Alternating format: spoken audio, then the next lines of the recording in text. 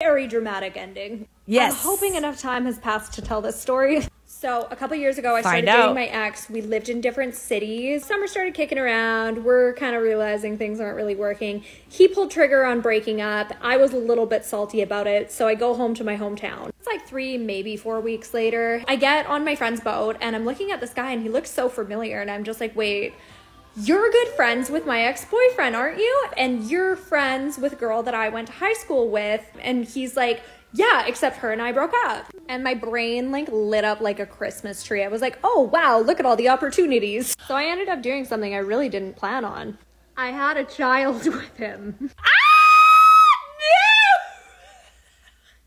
That's one way to get your revenge. Pop a child out of your hoo ha. Have his best friend's baby. That'll throw him.